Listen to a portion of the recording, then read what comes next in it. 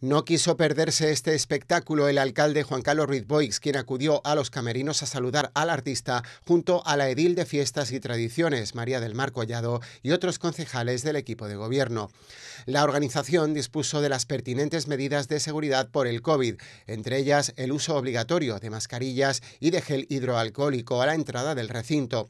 Se contó con mucho público que disfrutó durante toda la actuación.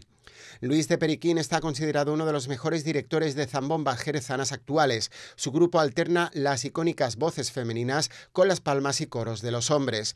Luis de Periquín es hijo del guitarrista flamenco Niño Jero. Creció en el barrio de Santiago, el más flamenco de Jerez, donde el compás y el arte van de la mano.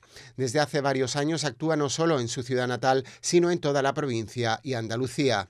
En cuanto al resto de actividades programadas por la Delegación de Fiestas, este miércoles el teatro acogerá el musical El Taller de Papá Noel, un espectáculo de la empresa Animagic que podrá disfrutarse en dos funciones, a las 6 y a las 8 de la tarde, con un precio único de 5 euros. Se trata de un espectáculo en el que se contará con siete actores que cantarán en directo.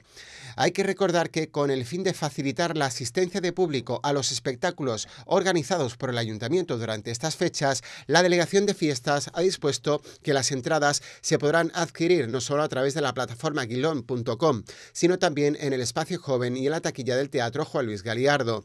En este sentido, los interesados en asistir al musical Taller de Papá Noel de este miércoles día 22 pueden adquirir las entradas de ambas formas al precio de 5 euros. Se recuerda, no obstante, que ante la demanda ciudadana existente se ha dispuesto que las mismas puedan retirarse en el espacio joven los días de cada espectáculo de 10 a 14 horas y en la taquilla del teatro en horario de tarde desde una hora antes del inicio de cada obra.